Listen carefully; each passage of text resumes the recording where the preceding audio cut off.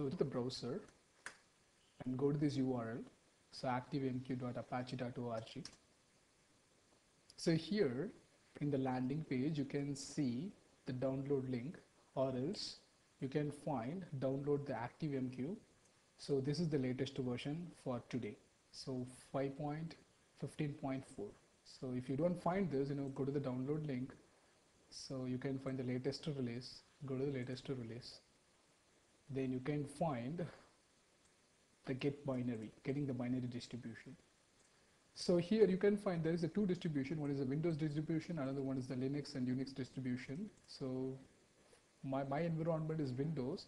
So that's what I'm downloading this distribution. So you can, if you are using Linux and uh, Unix, you can download it accordingly. So let's click on this.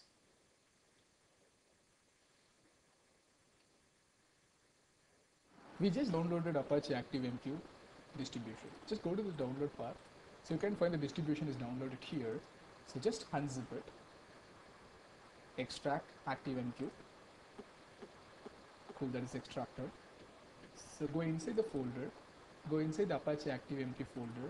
You can find there is a folder called bin. So head over to the bin folder. Now just open the command prompt by pointing this location. So now we can see that I'm pointing downloads my ActiveMQ folder. Inside the ActiveMQ folder, there is a bin folder. So make sure that you are pointing to the bin folder. Okay. So now you have to type a command active mq space start. So this is the command to start the ActiveMQ server in Windows. Just run it.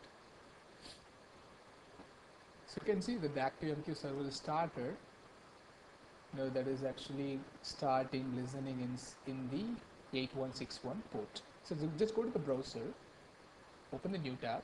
You can just type localhost 8161. Just enter.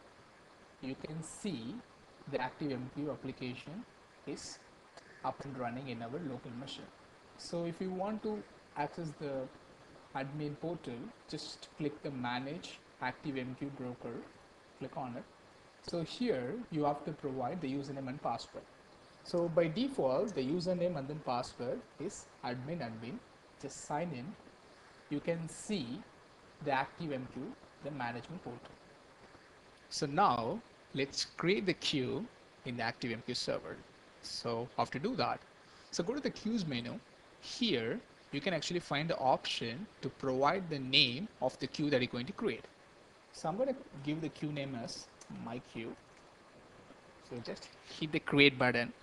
You can see the queue is created. If you want to rename it, if you want to delete it, of course there is an option. You can delete and recreate as you want. So as of now, I'm going to use this queue as part of my Camel application.